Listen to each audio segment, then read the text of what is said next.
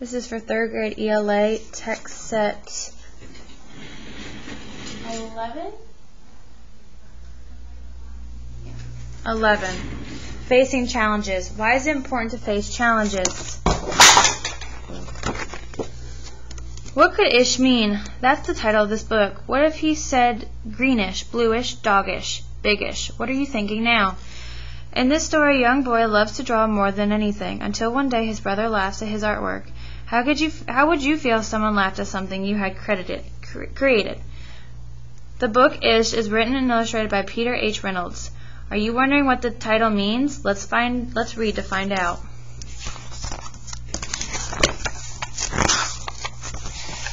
Roman loved to draw.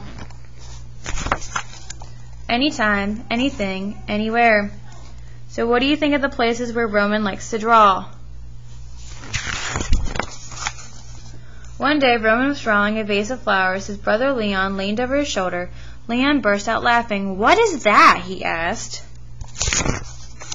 Roman could not even answer. He just crumpled up the drawing and threw it across the room. Leon's laughter haunted Roman. He kept trying to make his drawing look right, but they never did. So why does Roman crumple his drawing? How do you think he feels? Roman is faced with the challenge of making his drawing look right. What do you think it means to look right? After many months and many crumpled sheets of paper, Roman put his pencil down. I'm done. Looks like Roman is giving up. Do you think it's because his drawings aren't perfect? Is that right? Marisol's sister, was watching him. What do you want? He snapped. I was watching you draw, she said. Roman sneered. I'm not drawing. Go away. Marisol ran away, but not before picking up a crumpled sheet of paper. Hey, come back here with that. Roman raced after Marisol upon the up the hall and into her room. So I wonder what Marisol was going to do with her, with the crumpled paper.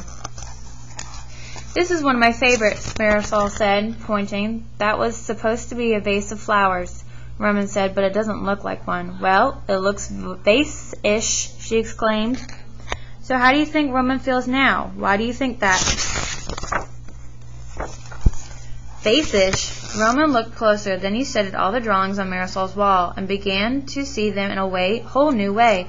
They do look ish, he said. So at last we learned the meaning of ish. Ish means kind of like or sort of like. What does Mar- Mar- Marisol mean when she says the picture looks vase-ish?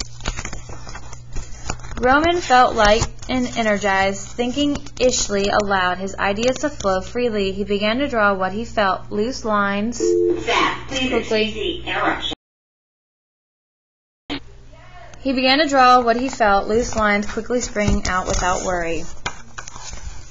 Roman once again drew and drew the world around him, making ish drawing felt wonderful. He filled his journals, tree-ish, house-ish, boatish, afternoonish, fishish, and sunish.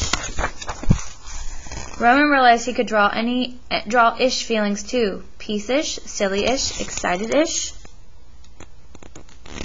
He, his ish art inspired ish writing. He wasn't sure if he was writing poems, but he knew they were poem-ish.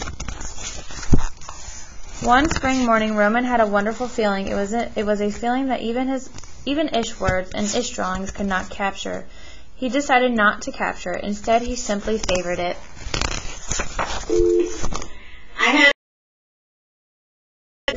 And Roman lived ishfully ever after. What do you think it means to live ishfully ever after?